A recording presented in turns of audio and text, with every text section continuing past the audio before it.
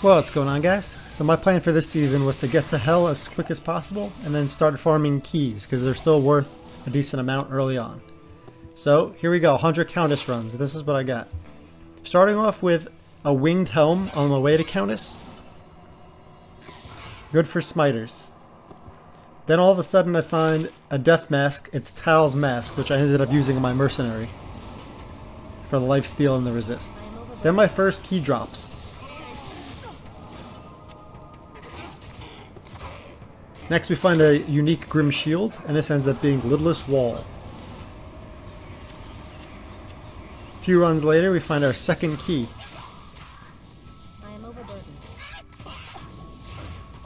Again, on the way to Countess, I actually found a decent amount of items there killing groups of mobs. A 4 open socket Crystal Sword, good for Spirit.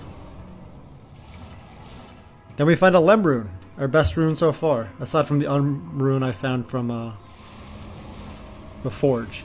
Then I find a White Monarch, which are very valuable early on because everyone's trying to make Spirit. And then my third key drops. Again, on my way into the Countess, we find another Grand Charm, and this is much better than my first Gheed's. A 139, 36, very, very good rolls. And we find our fourth key. And our next best rune, we find an Umrune. Then we find Templar Coat, which ends up being Guardian Angel. And Demonhide Boots, I hope they weren't ethereal, but uh, they are, so I don't know if I could really trade those for anything. And then I find a Javelin, and it actually rolls 4 to all skills out of the 2 to the 4, and 194% ED out of 200% possible. Then we find our next key. And then a set pair of heavy bracers, which was an upgrade for me, Trangs, and that put me over to the 117% breakpoint for lightning, for faster cast rate. And we end our session here with a Mal rune.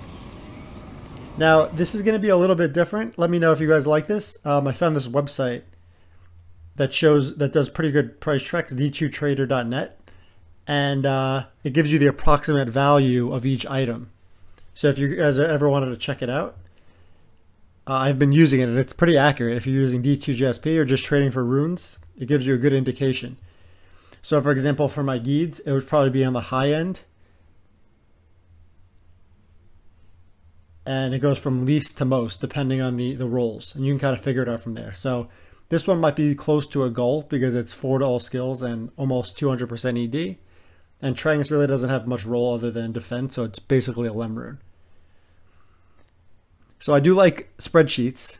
So overall, this is what I found, and I did the uh, lem value total of each.